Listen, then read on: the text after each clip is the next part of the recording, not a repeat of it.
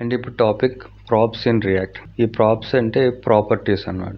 వీటిని షార్ట్ ఫామ్లో రియాక్ట్లో ప్రాప్స్ అంటాం. అండ్ ఈ ప్రాప్స్ అనేది రియాక్ట్లో చాలా famous and very important concept అని కూడా చెప్పొచ్చు. ఎందుకంటే ఈ ప్రాప్స్ ద్వారానే మనం కాంపోనెంట్స్ని కమ్యూనికేట్ చేసుకుంటాం. అలాగే ఒక కాంపోనెంట్ నుంచి ఇంకో కాంపోనెంట్కి డేటా అనేది కూడా పాస్ చేస్తాం. సో ఫర్ ఎగ్జాంపుల్ ఇక్కడ నాకు ఫస్ట్ కాంపోనెంట్ అని ఒక కాంపోనెంట్ ఉంది. ఈ కాంపోనెంట్ నుంచి నేను డేటాని సెకండ్ కాంపోనెంట్కి పంపించే ప్రాసెసే ఈ ప్రాప్స్ అనే కాన్సెప్ట్ ఇక్కడ ఎప్పుడన్నా సరే అంటే ఒక కాంపోనెంట్ నుంచి ఇంకొక కాంపోనెంట్ మధ్య ఉన్న కమ్యూనికేషన్ ఎలా జరుగుతుంది అంటే మనం ఫస్ట్ కాంపోనెంట్ నుంచి సెకండ్ కాంపోనెంట్కి డేటా పంపించేది ఇక్కడ ఫస్ట్ కాంపోనెంట్ అనేది పేరెంట్ అండ్ రిసీవ్ చేసుకున్న కాంపోనెంట్ అంటే డేటా రిసీవ్ చేసుకుంటున్న కాంపోనెంట్ ఇక్కడ చైల్డ్ కాంపోనెంట్ అండ్ ఈ డేటా ఫ్లో అనేది ఇప్పుడు వన్ వేలోనే జరుగుతుంది. అంటే పేరెంట్ కాంపోనెంట్ నుంచి చైల్డ్ కాంపోనెంట్కి అలాగే ఈ రిసీవ్ చేసుకున్న అంటే సెకండ్ కాంపోనెంట్ డేటాను ఏదైతే రిసీవ్ చేసుకుందో ఈ సెకండ్ కాంపోనెంట్ ఆ డేటాను ఓన్లీ రీడ్ చేయడం మాత్రమే చేయగలదు. అంతేగాని మోడిఫై చేయటం కానీ ఆ డేటాని చేంజెస్ చేయటం కానీ ఈ సెకండ్ కాంపోనెంట్ వల్ల వీలు కాదు. ఓకే ఇది ఒక ఇంపార్టెంట్ పాయింట్ ఇది మీకు ఇంటర్వ్యూలో కూడా డెఫినెట్గా అడగడానికి ఛాన్స్ ఉంది. ఈ క్వశ్చన్ వాట్ ఆర్ ప్రాప్స్ అని. అప్పుడు మీరు చెప్పొచ్చు props are the one which pass data from one component to other component that is parent component to child component and ఈ ప్రాప్స్ రాయడానికి కొంత ప్రాసెస్ అనేది ఉంది. అదేంటో కాంపోనెంట్స్ క్రియేట్ చేసి ప్రాక్టికల్గా ఈ ప్రాప్స్ ఇంప్లిమెంట్ చేసి చూద్దాం. అండ్ మన ప్రాజెక్ట్ అనేది మై ఫస్ట్ రియాక్ట్ ఇది మన ప్రాజెక్ట్ ఫోల్డర్ ఈ ప్రాజెక్ట్ మనం local development server local host three థౌజండ్లో రన్ చేస్తున్నాం. అండ్ uh, ఇప్పుడు మనం విజువల్ స్టూడియో కోడ్లోకి వెళ్ళి ప్రాప్స్ కోసం నేను ఒక ఫోల్డర్ క్రియేట్ చేస్తాను. ఈ ఫోల్డర్ లోపల మనం ఒక ఫోర్ కాంపోనెంట్స్ క్రియేట్ చేసి వీటి మధ్య ప్రాప్స్ అప్లై చేద్దాం. సో ఇక్కడ ఎస్ఆర్సీ దగ్గర రైట్ క్లిక్ చేసి నేను ఒక ఫోల్డర్ క్రియేట్ చేస్తాను ఈ ఫోల్డర్ పేరు ప్రాప్స్ కంటైనర్ అని పెట్టాను. సో ఈ ప్రాప్స్ కంటైనర్ లోపల నేను ఒక ఫోర్ ఫైల్స్ క్రియేట్ చేస్తాను. ఒక ఫైల్కి ఫస్ట్ కాంపోనెంట్ అని పేరు పెట్టి జేఎస్ఎక్స్ ఎక్స్టెన్షన్ ఇంకొక ఫైల్కి సెకండ్ కాంపోనెంట్ డాట్ జేఎస్ఎక్స్ అలాగే థర్డ్ కాంపోనెంట్ నెక్స్ట్ ఒక ఫోర్త్ కాంపోనెంట్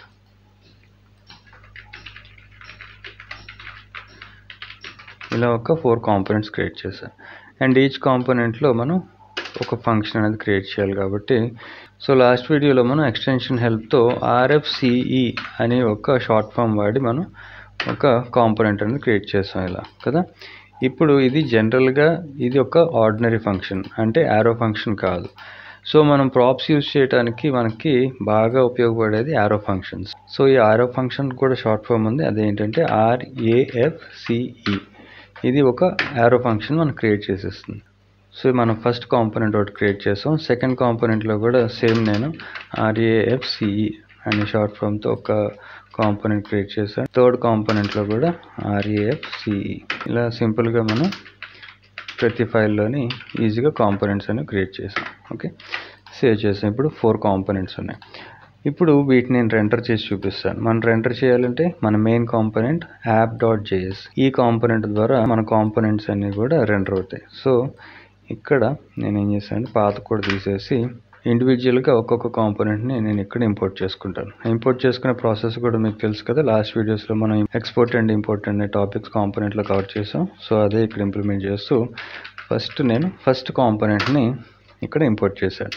చూడండి ఇప్పుడు నేను ఎప్పుడైతే ఫస్ట్ కాంపోనెంట్ అని రాసి ఎంటర్ హిట్ చేశాను ఆటోమేటిక్గా ఇక్కడ ఫస్ట్ కాంపోనెంట్ అనేది ఇంపోర్ట్ అయ్యింది. ఇది కూడా మనం ఇన్స్టాల్ చేసుకున్న ఎక్స్టెన్షన్స్ నుంచే వచ్చిందనమాట మనకి. ఇప్పుడు మనం ఫస్ట్ కాంపోనెంట్ని రెండర్ చేసాం. ఓకే సేవ్ చేసి అవుట్పుట్లో చూడండి మనకి ఫస్ట్ కాంపోనెంట్ అని ఇలా అవుట్పుట్ వచ్చింది. ఓకే సో ఇలాగే మిగతావి కూడా మనం రెండర్ చేద్దాం. సెకండ్ కాంపోనెంట్ క్లోజింగ్ నేను ఇక్కడ టైప్ చేసిన వెంటనే ఎంటర్ హిట్ చేయగానే మీకు ఇక్కడ ఇంపోర్ట్ అవుతుంది. ఇది కూడా మీరు ఒకసారి గమనిస్తూ ఉండండి.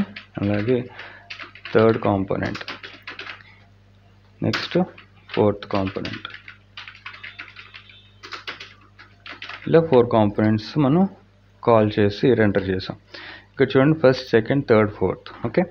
So ఇక్కడ ఇప్పుడు పాయింట్ ఏంటంటే ఇక్కడ చూడండి మనకి ఫోర్ కాంపోనెంట్స్ ఉన్నాయి. ఈ ఫోర్ కాంపోనెంట్స్ లోపల మనం డేటా ఏం రాద్దాం అంటే నేమ్ అని రాశారు. ఇక్కడ నేను కర్లీ బ్రేసెస్ వాడాను. ఎందుకు వాడాను అంటే లాస్ట్ వీడియోలో మనం ఆల్రెడీ ఈ టాపిక్ డిస్కస్ చేసాం. మనకి వేరియబుల్స్ ద్వారా వచ్చే డేటాను చూపించాలి అంటే ఇలా కర్లీ బ్రేసెస్ వాడాలి అని. అందుకని నేను ఇక్కడ కర్లీ బ్రేసెస్ వాడాను. ఎందుకంటే మనకు వచ్చే డేటా ఇప్పుడు వేరియబుల్ ద్వారా వస్తుంది. అంటే ఒక కాంపోనెంట్ నుంచి ఇంకొక కాంపోనెంట్కి డేటా అనేది పాస్ అవుతుంది కాబట్టి. అంటే ఒకవేళ నేను ఫస్ట్ కాంపోనెంట్ నుంచి సెకండ్ కాంపోనెంట్కి డేటా పంపిస్తే అది అప్పుడు ఈ సెకండ్ కాంపోనెంట్కి వేరియబుల్ అవుతుంది. ఓకే అది ఎలాగో చూపిస్తారు. ఇక్కడ నేను కర్లీ బ్రేసెస్లో నేమ్ అని రాశాను. సేవ్ చేశాను. అలాగే ఇది కాపీ చేసుకొని సెకండ్ కాంపోనెంట్కి వెళ్ళి ఇక్కడ కూడా ఇది సేవ్ చేశాను. థర్డ్ కాంపోనెంట్లో కూడా సేమ్ సేవ్ ఫోర్త్ కాంపోనెంట్లో కూడా సేమ్ ఇలా ప్రతి కాంపోనెంట్లో కూడా నేను ఒక నేమ్ వేరియబుల్ని డిస్ప్లే చేశాను. ఓకే ఇప్పుడు చూడండి అవుట్పుట్లో మనకి మొత్తం ఎర్రర్స్ ఉన్నాయి. అన్ఎక్స్పెక్టెడ్ యూజ్ ఆఫ్ నేమ్ అని. సో ఇది అందాక ఇది పక్కన పెట్టండి. ఇప్పుడు ఇక్కడ నా పాయింట్ ఏంటంటే ఇక్కడ ఫస్ట్ కాంపోనెంట్ ఉంది కదా. ఫస్ట్ కాంపోనెంట్ని మనం ఎక్కడ ఎంటర్ చేసాం? మెయిన్ కాంపోనెంట్ ఇక్కడ మన మెయిన్ కాంపోనెంట్ యాప్ అనేది మనకు మెయిన్ కాంపోనెంట్ ఇక్కడ నేను డేటా అనేది ఫస్ట్ కాంపోనెంట్కి పాస్ చేస్తున్నాను. ఇప్పుడు ఫస్ట్ కాంపోనెంట్ యాప్ కాంపోనెంట్కి చైల్డ్ కాంపోనెంట్ అనమాట అంటే ఇక్కడ యాప్ అనేది పేరెంట్ కాంపోనెంట్ ఫస్ట్ కాంపోనెంట్ అనేది child component second component third fourth ఇలాగా ఒకటి నుంచి నాలుగు వరకు ఉన్న కాంపోనెంట్స్ అన్నీ కూడా ఈ app కాంపోనెంట్కి child components. Okay? Very simple so ఇప్పుడు నేను పేరెంట్ కాంపోనెంట్ నుంచి చైల్డ్ కాంపోనెంట్కి డేటా అనేది పాస్ చేయగలను. సో దానికోసం ఇక్కడ అండ్ ప్రాప్స్ పాస్ చేయడానికి ఒక చిన్న కండిషన్ ఉంది. అదేంటంటే మన కాంపోనెంట్ ఏదైతే ఉందో అంటే మనం రెండర్ చేసిన ప్లేస్లో ఇక్కడ ఎండింగ్లో మనం ఈ ప్రాప్స్ అనేది పాస్ చేయాలి. అంటే ఇక్కడ నేమ్ అని ఒక వేరియబుల్కి నేను వాల్యూ కింద కళ్యాణ్ అని పాస్ చేశాను. ఓకే ఇక్కడ చూడండి ఇప్పుడు ఈ నేమ్ అనేది ఒక వేరియబుల్ కళ్యాణ్ అనేది ఒక వాల్యూ ఓకే అలాగే ఇక్కడ ఇంకొక నేమ్ తీసుకొని దీనికి సుమన్ అని ఇచ్చాను. ఓకే నెక్స్ట్ థర్డ్ కాంపోనెంట్కి నేమ్ వచ్చి రెడ్డి అని రాశారు. ఫోర్త్ కాంపోనెంట్కి ఆలీ అని రాశారు. సేవ్ చేశారు. ఇప్పుడు నెక్స్ట్ స్టెప్లో ఈ చైల్డ్ కాంపోనెంట్ అంటే ఇక్కడ ఈ first component second third fourth ఇవన్నీ కూడా చైల్డ్ కాంపోనెంట్స్ కదా. ఈ చైల్డ్ కాంపోనెంట్స్ ఈ డేటాను రిసీవ్ చేసుకోవడానికి ఒక కండిషన్ ఉంది. అదేంటంటే ఈ పెరాన్సిస్ లోపల మనం ఇక్కడ ప్రాప్స్ అని రాయాలి. ఇక్కడ ప్రాప్స్ అనే రాయక్కర్లేదు ఏదైనా రాయొచ్చు. కన్వెన్షన్ కోసం మనకు అర్థం అవటం కోసం ప్రాప్స్ అని రాస్తాం. సో ఈ ప్రాప్స్ అని రాయటం అనేది మంచి ప్రాక్టీస్ ఇప్పుడు ఈ ప్రాప్స్ అనేది మనం పేరెంట్ కాంపోనెంట్ ద్వారా పాస్ చేసిన డేటాని రిసీవ్ చేసుకుంటాం. ఇప్పుడు దీన్ని నేను కావాలంటే కన్సోల్ చేసి చూపిస్తాను కన్సోల్ డాట్ లాగ్ చేసి ఈ ప్రాప్స్ని అవుట్పుట్ చేశాను సేవ్ చేసి అవుట్పుట్కి వెళ్ళి ఇన్స్పెక్ట్ చేసి కన్సోల్లోకి వెళ్తే ఇక్కడ చూడండి నేమ్ కళ్యాణ్ అని మనకి కన్సోల్ అవుట్పుట్ వచ్చింది. ఇది రెండుసార్లు ఎందుకు వచ్చిందని మీరు అడగచ్చు. ఇది అంత ఇంపార్టెంట్ కాదు. మనం తర్వాత డిస్కస్ చేద్దాం. ఇక్కడ పాయింట్ ఏంటంటే మన ప్రాప్స్ అనేది డేటాని క్యారీ చేస్తుంది. ఓకే సో ఇక్కడ మనం ఈ ప్రాప్స్కి వచ్చిన వాల్యూని మనం కాల్ చేయాలి అంటే ఇక్కడ వాడాల్సింది ప్రాప్స్ ఇక్కడ డేటా ఏమొస్తుంది? ఇక్కడ వేరియబుల్ నేమ్ కదా. కాబట్టి మనం ఇక్కడ నేమ్ అని ఇచ్చాం. సేవ్ చేసి సో ఇప్పుడు సేమ్ ప్రాసెస్ సెకండ్ కాంపోనెంట్లో కూడా మనం ఇక్కడ ప్రాప్స్ని పారామీటర్లో పాస్ చేసి అలాగే మన వేరియబుల్కి ప్రాప్స్ యాడ్ చేస్తే సరిపోతుంది. థర్డ్ కాంపోనెంట్కి కూడా సేమ్ మనకి ఎన్ని కాంపోనెంట్స్ ఉన్న ప్రాసెస్ అయితే ఇదే. మనం ప్రాప్స్ని ప్రాప్స్ ద్వారా మనకు వచ్చిన డేటాని చూపించడానికి.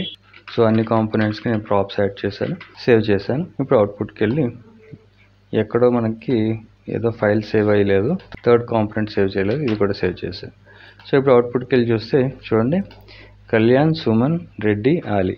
ఇలా మనకి అవుట్పుట్ అనేది వచ్చింది. సో ఇక్కడ చూడండి మనం ఓన్లీ నేమ్ అనే పాస్ చేస్తాం. ప్రతి కాంపోనెంట్లో కూడా మన నేమ్ అనే ఇచ్చాం.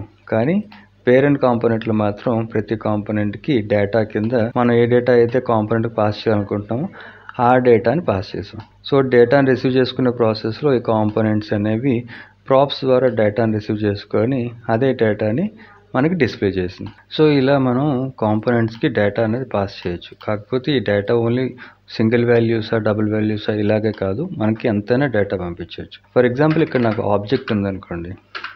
ఇక్కడ నేను యూజర్ అని ఒక ఆబ్జెక్ట్ తీసుకున్నాను. కాన్స్ట్ యూజర్ ఈ యూజర్కి నేను ఒక ఆబ్జెక్ట్ని అసైన్ చేస్తున్నాను. ఈ ఆబ్జెక్ట్ లోపల నాకు నేమ్ అని ఒక కీ ఈ కీకి వాల్యూ కింద శివ అని రాశారు.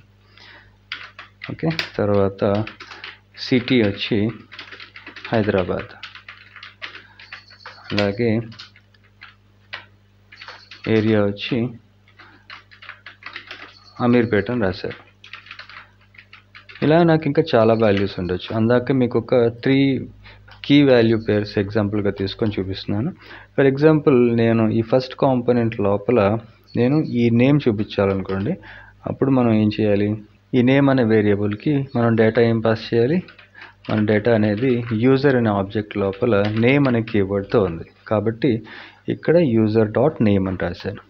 ఇప్పుడు ఇది ఫస్ట్ కాంపోనెంట్ అనే కాంపోనెంట్ లోపల మనం ప్రాప్స్ కింద మనకి డేటాను రిసీవ్ చేసుకుంటుంది. త్రూ పేరెంట్ కాంపోనెంట్ రిసీవ్ చేసుకొని మనకు అవుట్పుట్లో చూడండి ఇక్కడ శివ అని చూపించింది. ఇక్కడ సుమన్ ప్లేస్లో నేను ఏరియాని పాస్ చేస్తాను అంటే ఇక్కడ ఈ సుమన్ అనే వాల్యూ ప్లేస్లో ఈ యూజర్ డాట్ ఏరియా ఇలా రాశాను. ఓకే సేవ్ చేసి ఇప్పుడు చూడండి. ఈ సుమన్ అనే ప్లేస్లో మనకి ఇప్పుడు అమీర్పేట అని వచ్చింది. ఇలా ఏంటంటే మనకి ఏపీఎస్ ద్వారా డేటా అనేది వస్తూ ఉంటుంది. అది జేసన్ ఫార్మేట్లో ఉంటుంది. అంటే ఇలా సిమిలర్గా ఒక ఆబ్జెక్ట్కి సిమిలర్గానే ఉంటుంది ఆ జేసన్ డేటా అనేది. ఆ ఏపీఐ నుంచి వచ్చే జేసన్ డేటాని మనం ఇలాగ కాంపోనెంట్స్కి డేటా కింద కూడా పాస్ చేసి వాల్యూస్ని డైనమిక్గా కూడా చూపించవచ్చు. ఈ ప్రాసెస్ అంతా మనం కమింగ్ వీడియోస్లో చూస్తాం.